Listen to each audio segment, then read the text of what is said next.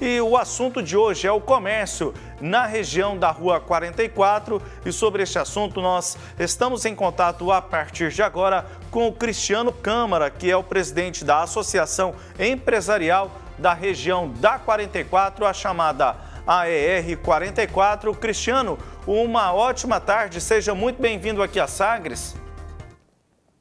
Obrigado a vocês e a todos os, os nossos ouvintes aí da Sagres aí, por essa oportunidade.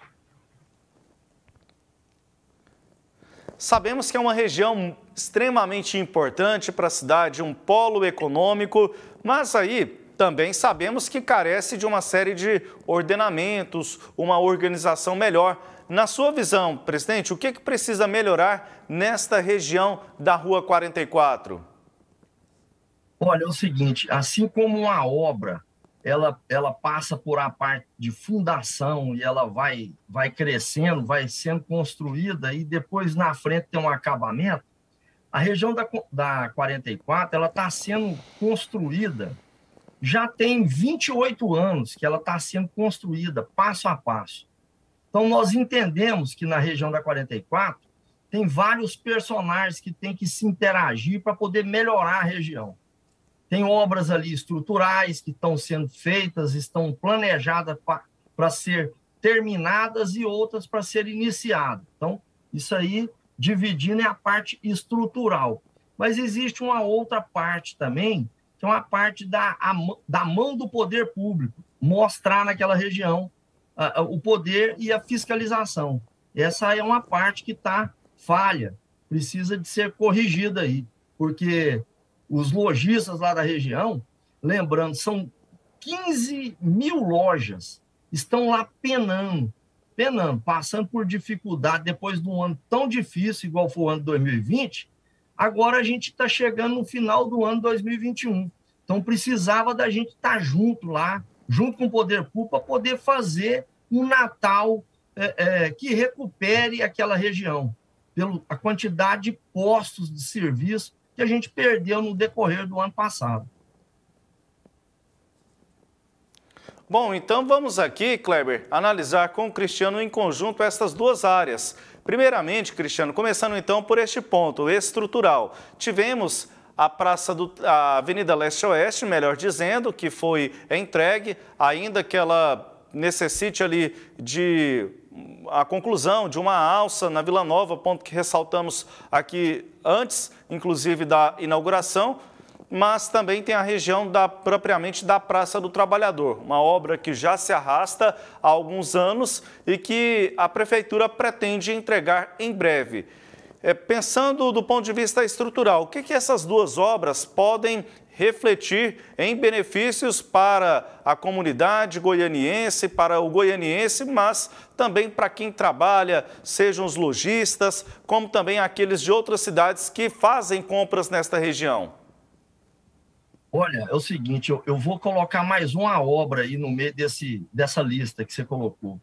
É a conclusão do BRT pelo lado norte da cidade. Então, a gente sabe que tanto para o lojista, tanto para o comprador, para poder chegar na região, precisa ter um trânsito que flui. Então, hoje, nós concluímos um trecho muito importante para leste-oeste, que é ali da Câmara Municipal, até a Avenida 200, próximo à Pecuária de Goiânia, já deu uma, uma, uma agilizada no trânsito muito boa. Porém, nós temos a Praça do Trabalhador, que tem que ser conclusa a obra de revitalização e retirar a Feira Hip do leito da 44 e colocar dentro da praça, para poder ter um trânsito que flui na Avenida 44. Isso é, é o segundo ponto. Terceiro ponto aí da, da parte estruturante é exatamente o eixo norte-sul do BRT, que esse aí tem muito tempo, certo? Agora a gente a gente teve quase para inaugurar ele agora no, no, dia 24 de outubro, mas parece que deu um problema no viaduto lá da Perimetral Norte. Por esse motivo não vai ser inaugurado. Mas assim, a gente espera que termine essas obras, porque terminando a obra, o trânsito flui, o comprador e o lojista chega e sai da região com tranquilidade. Do jeito que está hoje, está é, tá, tá muito é, embolado o trânsito lá, usando esse termo aí. E aí não basta apenas entregar a obra física, mas também, neste caso do BRT, as empresas de ônibus. Falamos isso, Kleber, em outras oportunidades. A empresa de ônibus não pode colocar apenas ali é, uma quantidade pequena de veículos, é menor do que aquela que estava prevista no contrato. Aí não justifica é, um investimento tão alto por parte do poder público, sendo que o próprio poder público não faz o poder dele né, de concessão para que a concessão ela possa efetivamente ter ali a sua aplicabilidade. Mas Kleber, fique à vontade. Agora avançando sobre outros aspectos, como o Cristiano colocou, é, além da parte estruturante, há outros é, pontos importantes nesta região da Rua 44 que acabam afetando esse comércio na região. Pois é, eu quero aproveitar a presença do Cristiano para abordar três deles. Primeiro, Cristiano, uma das coisas que eu vejo, que eu sinto necessidade na 44, é de estacionamentos organizados, sejam privados ou do setor público, precisa de uma área para estacionar, porque chega ali, o comprador chega ali, sobretudo aquele que vai comprar para o atacado. Ele precisa deixar o veículo, porque ele vai usar o veículo dele para levar as compras não tem um lugar apropriado. É muito disputado os pequenos espaços que tem. Então, acho que alguém, seja o poder público, eu repito, já que vocês são geradores de empregos, de tributo, de renda, ou seja, a própria associação vai ter cedo ou tarde de preparar um local apropriado para estacionamento e tomara que ele seja, inclusive, aqueles verticais, porque a 44 já comporta isso. Seria até possível, se fosse possível, uma parceria público-privada, seria muito bom. Eu entendo. Então, essa é uma reivindicação de alguém que compra também na 44 e que sente o outro lado que às vezes vocês lojistas não é, é, sentem. O que, que você acha e que avaliação você faz dessa ideia? Olha, eu vou te falar uma coisa. Você tocou num ponto crucial. Então, é o seguinte, a, a diretoria da Air 44, lá atrás, na gestão passada do, do nosso prefeito Iris Rezende, é, a gente juntou e apresentou um projeto para o prefeito para que contemplasse tudo isso que você está falando. Porém, aonde que esses carros iriam parar? Eles iriam parar dentro da Praça do Trabalhador de segunda a sexta-feira, fazendo um trânsito ficar mais ordenado, ter vaga de carro para parar, tudo dentro da praça, de segunda a sexta, respeitando a feira hippie para poder ela trabalhar no, dentro da praça, no sábado e no domingo. Essa foi a proposta que foi feita e passada. Porém, a, a obra da praça tem que terminar. Nós temos um estacionamento de carro futuro que vai ser entregue e não foi entregue até hoje. Então, esse. E, e, e para poder ressaltar sobre a obra da Praça do Trabalhador, ela tem um L em torno dela com estacionamento de ônibus em escama para poder favorecer os ônibus a pararem no entorno da praça. Então, seria ônibus no entorno da praça e carro dentro da praça, de segunda a sexta. Sábado e domingo, a feira hippie, com os ônibus parando no, no entorno da praça. Isso ia favorecer demais a região. Porque a gente tem um, um, um, um equipamento público, né, vamos falar assim, que é a rodoviária de Goiânia. Ela tem um belo estacionamento, ela chega ônibus do Brasil inteiro todos os dias. Para vocês terem ideia, é, chegam em 24 horas no final de semana lá no, no, na rodoviária, nossa ali, do terminal rodoviário, chega aproximadamente mil ônibus em 24 horas. Os ônibus estão tendo dificuldade de entrar na praça, entrar no terminal rodoviário. Por quê? Porque está tudo tomado. A 44 tem feira nela, ocupando toda uma via lateral. Então, em, em ordenamento, ao que você está falando, Kleber, tudo bem feito, bem falado que você disse. Nós temos que ter o estacionamento, isso já está projetado, planejado e está com a obra 90% executada. Está precisando de ter um sprint final aí de 10% para poder limpar aquela área lá. E, e a população de Goiânia poder adentrar o terminal rodoviário, ir às compras e ter uma região organizada. Está precisando agora de, de, realizar as obras iniciada há muito tempo.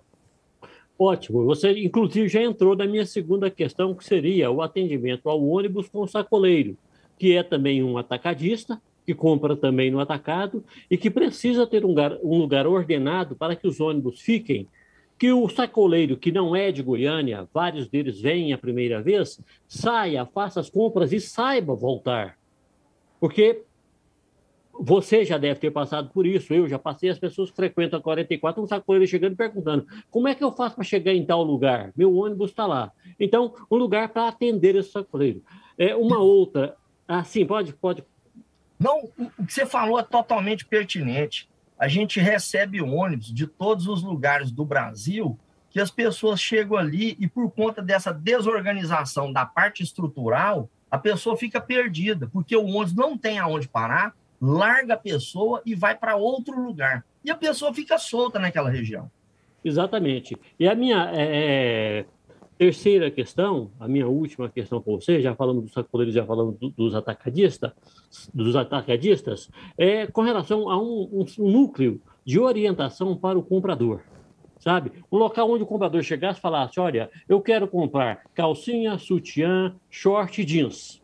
Aí o sujeito fala, ó, nessas lojas aqui vendem esses produtos. Outros falam, não, ó, eu quero roupa jovem, eu quero roupa para senhoras, eu quero roupa branca para médico. Um núcleo de orientação, porque aí evitava muito aquele ir e vir do comprador de loja em loja, que às vezes não tem o produto que ele, que ele está procurando e ele não tem obrigação de adivinhar. E lá não tem é, é, é esse núcleo orientador então, eu gostaria de sugerir a você, à associação e ao poder público que criasse esse núcleo. É. Eu queria te, te orientar você, tanto você quanto todos os, os ouvintes da SAG, que é o seguinte: a associação já criou uma rede social oficial da, da, da associação. Posso até falar aqui dela?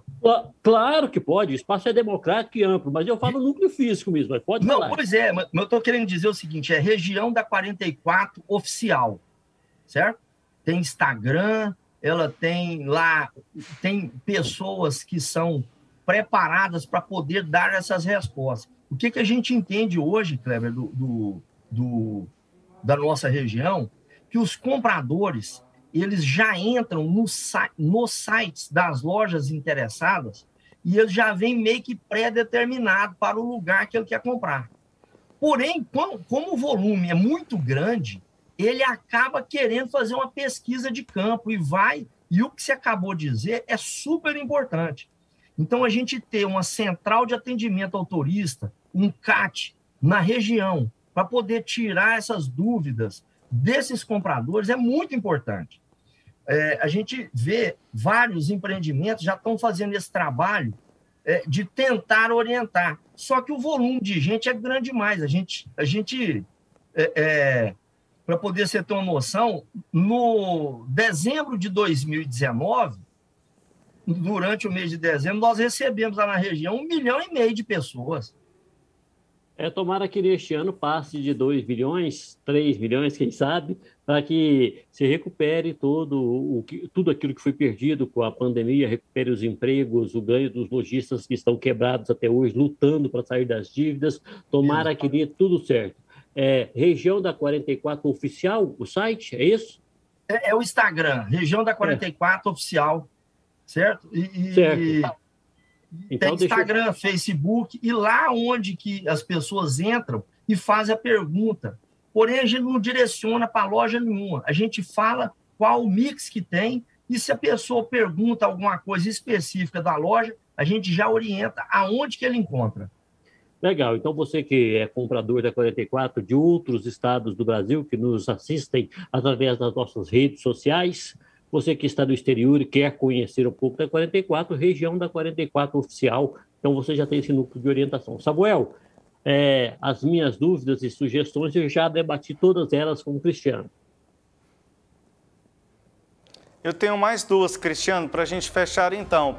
A primeira, em relação à segurança na região, volta e meia há conflitos ali, feirantes, da, do comércio da madrugada, da feira hippie, dos próprios lojistas, há problemas de segurança pública ali nessa região e também a própria estrutura física, porque há fatores que limitam o crescimento dessa região, fatores físicos, o córrego Botafogo, a Avenida Independência, a própria Avenida Goiás. Então são esses dois pontos que gostaria de tratar. Primeiro, a questão da segurança e depois, como que a gente pode pensar numa expansão econômica levando em consideração estes fatores físicos que citei?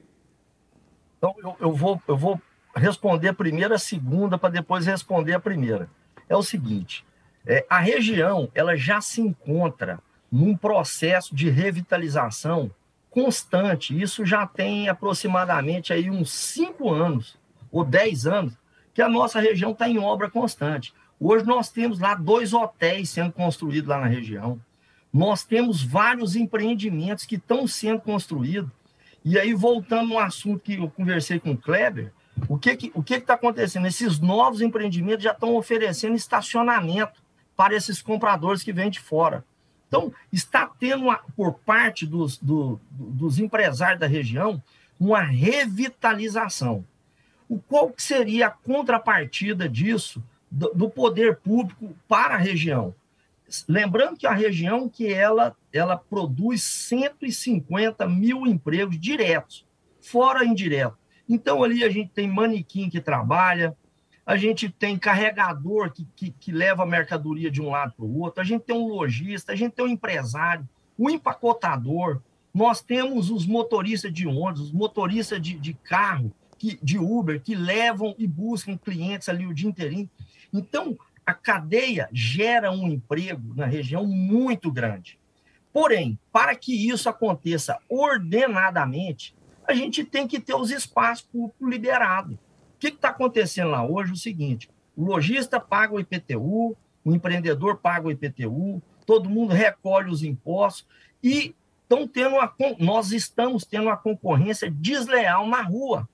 Então, por conta de um volume aí de 500 camelôs esparramados em pontos distintos da região, a gente prejudica 15 mil lojistas. Então, esse trabalho ele não é um trabalho que pode ser feito por nós lá da região da 44. Tem que ter o poder público agindo nesse lugar. Aonde que o poder público entra com a mão, ele resolve o problema. Então, ele tem que entrar com a SMM, Secretaria Municipal de Mobilidade, ele tem que entrar com é, a fiscalização, ele tem que entrar com a Guarda Civil Metropolitana, porque quando entra com esse, e a Polícia Militar junto também, quando entra com esse poder, o que, que acontece? O comprador que vem de fora, ele anda pela calçada com tranquilidade. Ele, ele entra e sai com segurança dos estabelecimentos.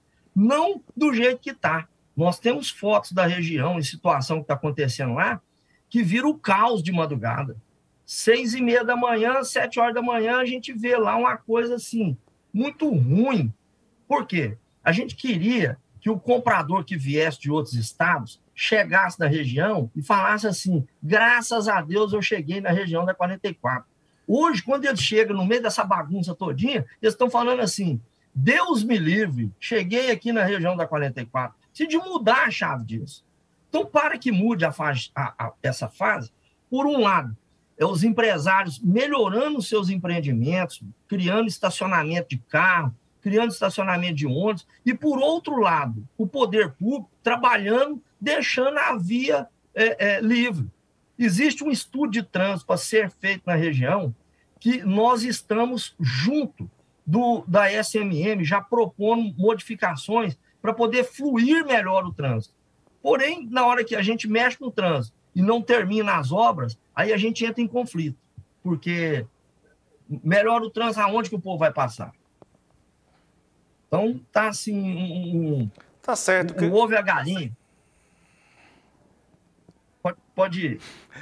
Verdade. Luci... Eh, Cristiano, muito obrigado, viu, pela, pela sua participação. De forma alguma, é, obrigado, viu, pela sua participação. Quero agradecê-lo aqui é, por participar desta análise que estamos fazendo sobre o aniversário de Goiânia, hoje abordando aqui a região da 44. Muito obrigado. Até uma próxima oportunidade.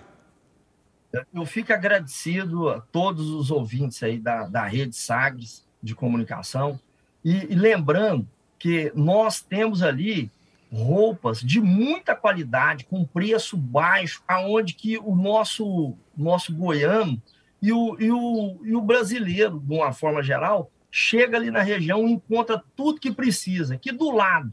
Né? Os problemas têm, estão sendo resolvidos gradativamente, mas a nossa região ela está só no início, ela ainda vai ser o melhor polo de moda do Brasil, pode ter certeza.